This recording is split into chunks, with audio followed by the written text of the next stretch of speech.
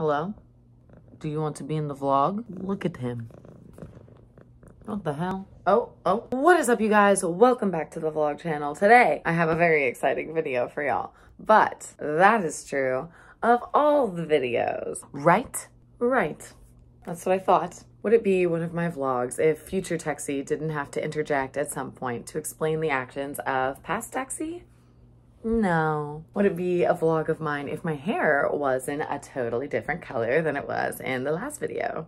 Also no. Enough funny business. I'm here to give a little context as to why this vlog is so short and out of order and kind of sporadic because that's not typically how I do things around here. So if you've seen my last video, the Pirates Cove vlog, which if you haven't, get on it. And if you have, in that video, I explained that vlog, this vlog, and the next vlog were all filmed back in literally August. So just move right on past that. That's neither here nor there. I plead the fifth. I said in the last video, yeah, yeah, yeah, I'll suck less. So the reason we were in New Orleans in the first place is because we were on our way back from Florida on a road trip and we were really only in town for a day, barely. My very first Urbex venture on this channel was my Six Flags New Orleans exploration back in March. Once again, if you haven't seen that video, I'm peer pressuring you. I'm just gonna plug all my videos in this video. Go ahead and watch the Plaza Tower video while you're at it. I was not initially planning on going back to Six Flags New Orleans. However, the primary objective objective in going back was actually motivated by this comment. I'm putting it on the screen right now. This series of comments on that video. There was this warehouse full of literally thousands of Fright Fest souvenir cups. This comment so wisely suggested that I should have gotten one, which like, yeah, I absolutely needed one of those cups. We ended up leaving Florida a lot later than expected. Our plan was definitely to get into town at a reasonable hour, but that did not end up happening. Hey. What's up? Oh. Anyways, he's a freak. You don't have to tell me. I know. Is this a good frame? He's very flopped right now. He had a long day of being a freak clearly. Moving on. You're aware of our primary objective for getting into Six Flags. We did have a couple of secondary objectives. What were these secondary objectives, might you ask? Excellent question. Basically, when I rewatched my first Six Flags video, I realized there were a couple of spots that I didn't go into because, I don't know, I'm stupid and I hate you.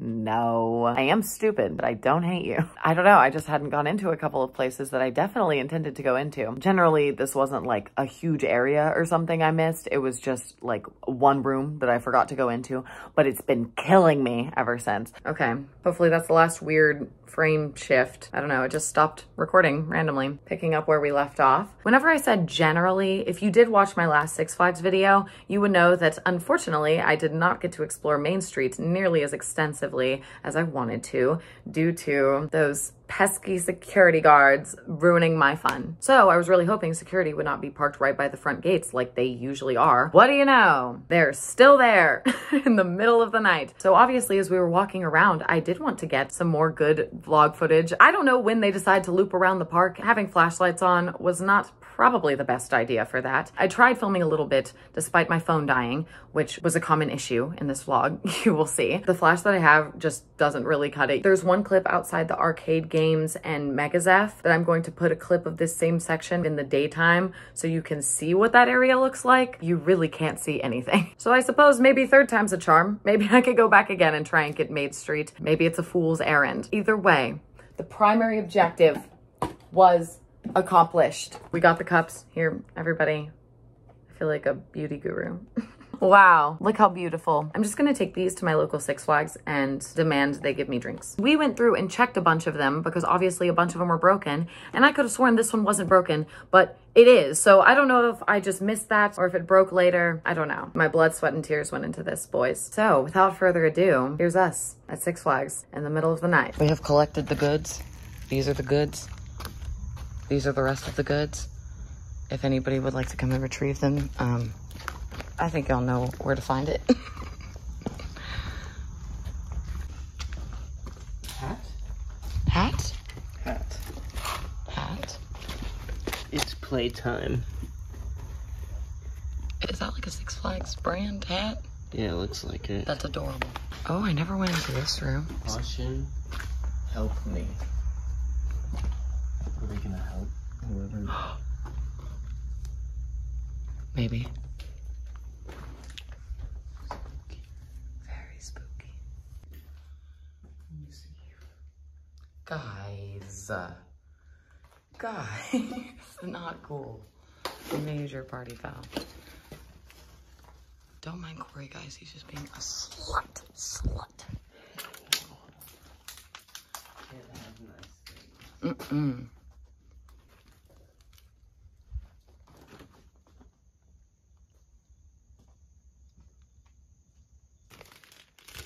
You need to take this back.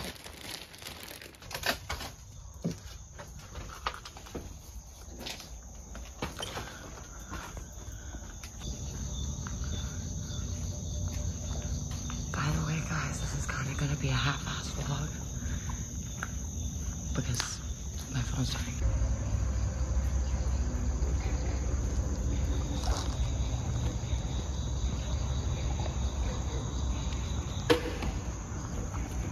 What are you doing? Corey's got some problems. Surprise! It's me again. Long time no see, right? I know, I know. There was barely any footage there. Hopefully there was a little bit of an explanation why. By the time we got out of the park, it was around 4.30 in the morning. We didn't get checked into the hostel until about 5. So technically it was August 10th in the morning and we were leaving August 11th the next day. So our first exploration of the day, if you don't count Six Flags, I guess, is going to be the next vlog. So stay tuned for that. After we explored that location, obviously we were gross and tired and wanted to go take a nap. We decided, no, we're gonna power through and try and hit another spot tonight. There was one location that we knew would be very difficult to get in and obviously would only be more increasingly difficult due to its current circumstances. Ding, ding, ding, it's Charity. It's Charity Hospital if you didn't guess that already. So I hadn't been back to New Orleans since March. And at that point, Charity had looked as it's always looked. But whenever we drove around, I noticed there was a bunch of scaffolding on the front, which was new to me. So I looked it up. There's construction going on. They are doing something with it. So we knew if we were going to get in, we needed to do it now. And due to how hectic it was trying to get in, I did not film anything, but I will explain how we got in. So Charity is right in the middle of the medical center. It is surrounded by active functioning hospitals and a lot of security. Both the front and the back had security cars. On the right, there's no street or anything. It just goes straight into the next building, which is in use. Pretty much our only in was on the left. All the windows are boarded up, obviously. There was one board on one window that looked like it could be a little bit loose. It doesn't look like it's that high up in this picture because this building is so large. The bottom of the window was probably like, I don't know. I mean, it was, it was a few feet above my head. I'm like five seven. So Corey had to boost me up. And then obviously once I was up there, time was of the essence because now I'm above the fence line. So if somebody catches me up there, I'm kind of screwed. The two by four on the bottom was a little bit loose. So I just started kicking it and I did get very stuck and I did start panicking a little bit. Honestly, if either of us had been like an inch bigger, we would not have been able to make it in. I had tons of bruises all over my legs from where I was squeezed against the window. The vlog picks up right whenever we get in. And since I'd already filmed an entire vlog that day, my phone, say it with me now, was dying.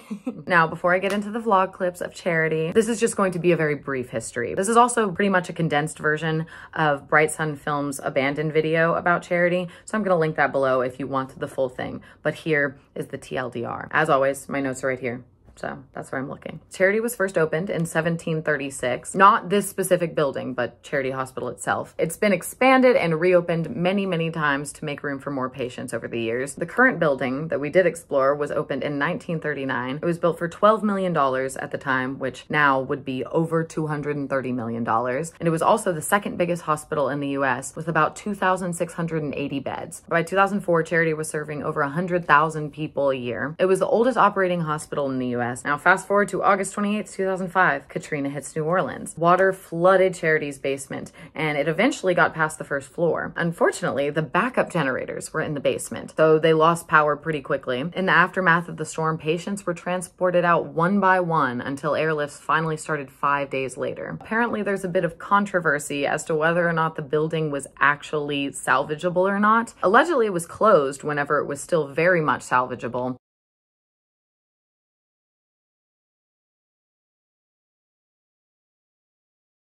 So in 2010, a deal was struck. FEMA would pay over 400 million for a new facility, the New Orleans Medical Center, which opened in 2015. In 2017, the building was gutted. As of recent news, the reason why there is the scaffolding in the front, Tulane signed the lease as the anchor tenant. Apparently the plan is to turn it into apartments, retail space, and a medical research center. It is a $300 million redevelopment. As of now, they've signed the lease for about 350,000 square feet of the building's total a million square feet. The projected opening of the redevelopment is in 2025. I suppose we'll see what will happen with that, but that's very exciting. You never see stuff get unabandoned. So anyways, roll the tapes. What's very nice about Charity being under renovation is they have these very convenient lights and fans for us. Oh, I need to get my light. It's almost dead though, guys. Excuse me? Um, I'd like to make an appointment. yeah, we gotta find some stairs.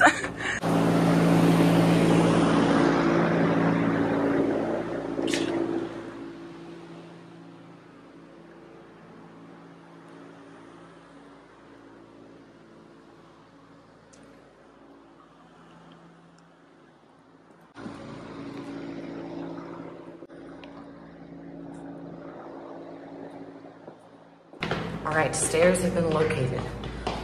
Let's go, boys. Get in our cardio. Where are you? Oh my goodness. We're already up so much of it. I didn't feel like we went up this high. I mean, there is still quite a bit more.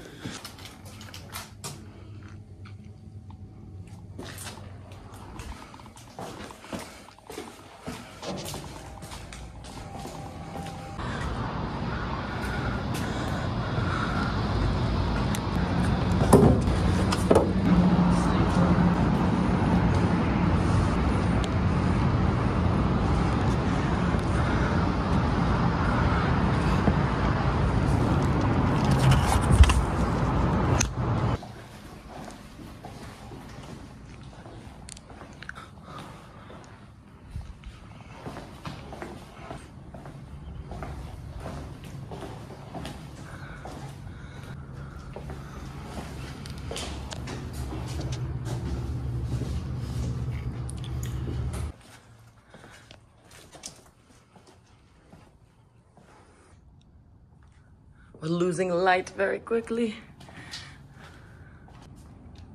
There, there.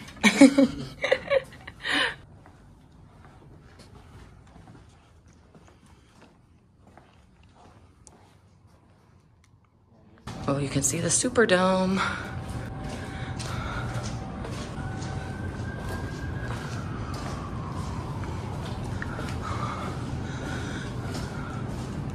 It seems we've made it to the top.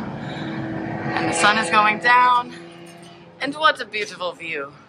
And I am so sweaty.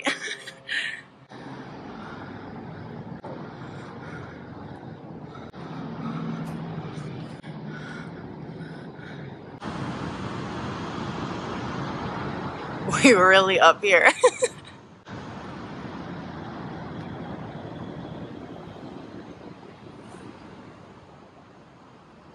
There's this cop that's sitting right on this parking lot, garage, parking garage. I don't know. Look at this beautiful sunset.